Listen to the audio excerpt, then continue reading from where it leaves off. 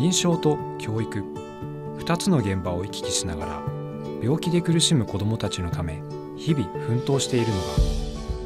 小児科学教授吉川哲司先生。診療の傍ら臨床研修センター長としても若手の指導に尽力している先生の教育に対する思いとは？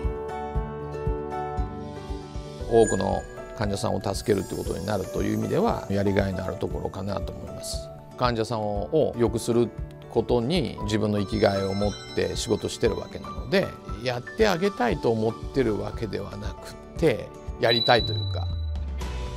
患者のため医療のために貢献する。その原動力は一体どこから来るのか。なぜ医者を目指すことになったのか。先生の知られざるそのルーツに迫ります。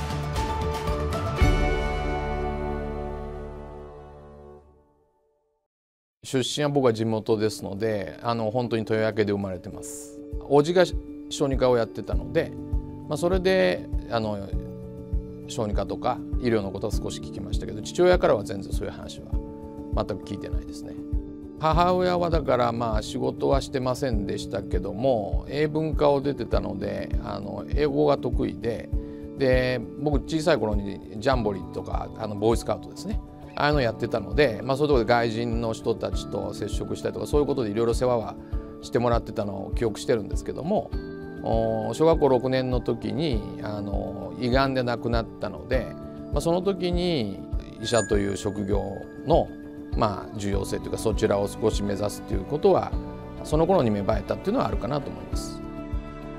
とにかくあまり親孝行はできなかったというのはその後亡くなってからやっぱり後悔したことかなと思いますね。えー、だけどまあ、えー、まあこういう状況だからあのちゃんと自分はやあのやってか生きていかなきゃいけないんだろうなという気持ちにはなりましたけどね。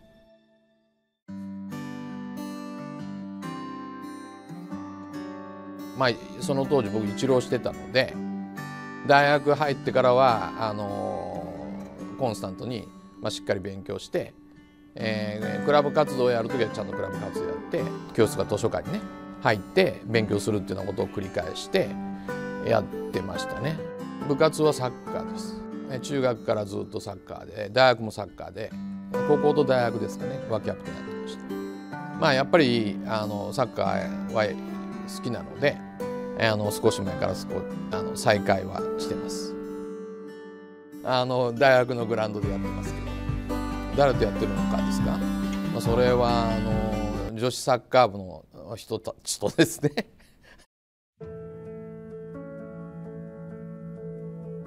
小児科医の選んだ結かけは母親が亡くなったこともあるのであの白血病の本とかそういうのをよく読んでたのでやっぱり白血病を治したいなというようなイメージはあったので、まあ、だけどまあ最終的にサッカー部の先輩に、小児科に先輩がいたので「お前は俺のいる小児科に入れ」というようなことも言われてまあなんとなくそういう形で決まったという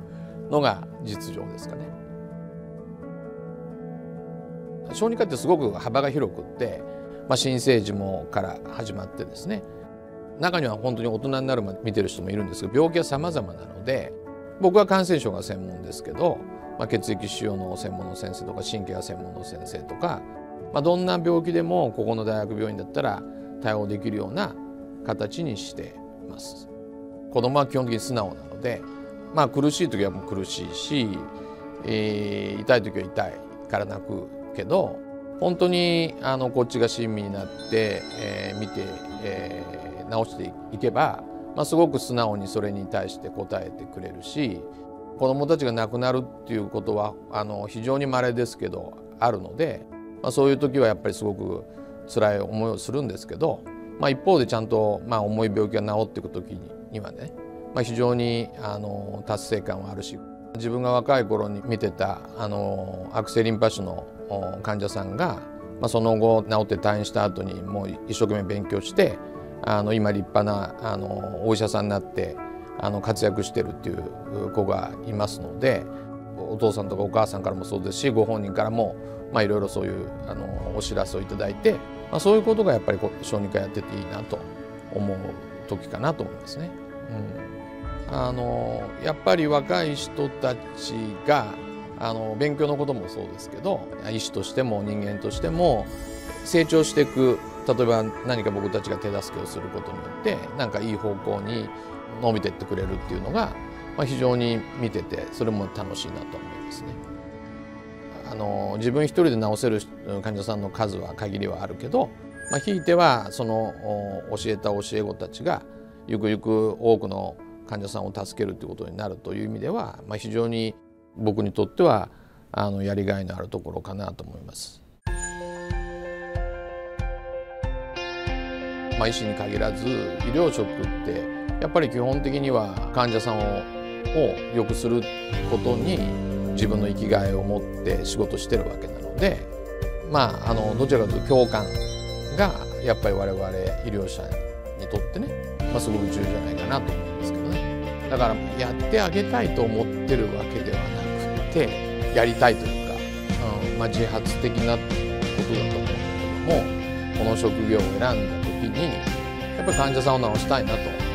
思ってるわけなので自然と湧いてくるという共感力それが先生の原動力。小さな命を救うため